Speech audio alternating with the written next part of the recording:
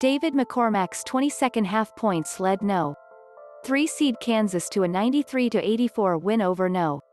14 seed Eastern Washington in a NCAA tournament first round game. The Groves brothers combined for 58 points. Tanner Groves scored a game-high 35 points. Jake Groves added 23 points and 9 rebounds. Jake Groves entered the game averaging just 8.7 points per game. The 6-7 sophomore shot 6 of 8 in the first half. The younger Groves brother has been coming on strong lately, averaging 18 points over his last two games. Tanner is enjoying a breakout redshirt junior season, but the 6-9 forward has experienced some viral fame in the past. His vicious putback dunk against Multnomah on December 13 earned him the no. One play of the night on SportsCenter.